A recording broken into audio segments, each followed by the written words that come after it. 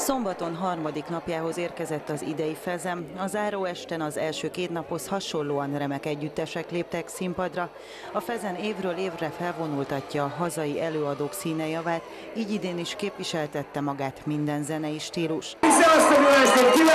Szombaton este egyebek mellett a kis csillag is fellépett, élén a Kispál és a Borz egykori frontemberével, Lovasi Andrással. A fezenen, például a fezembe, bocsánat, a régi helyszínén még mi tartottuk az árabulót, és például az egy emlékezetes, jó hangulatú koncertes sikeredett. A fesztivál közönség lelkesedése a harmadik napon is kitartott, rengetegen látogattak ki a MÁV pályára szombaton is. Ez a fesztivál élet, amit nem lehet kihagyni, szóval ez így kell a fiatalkorban, ezt így nem lehet kihagyni. Minden evők vagyunk, alternatív, rock, pasó, minden jó.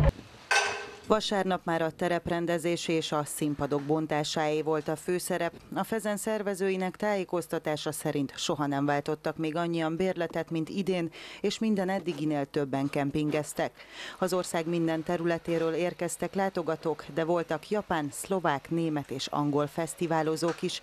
Székesfehérvár önkormányzata és a Fezen rendezői a lakosság bevonásával értékelik majd a fesztivál eseményeit és a szervezés tapasztalatait a következő következő hetekben.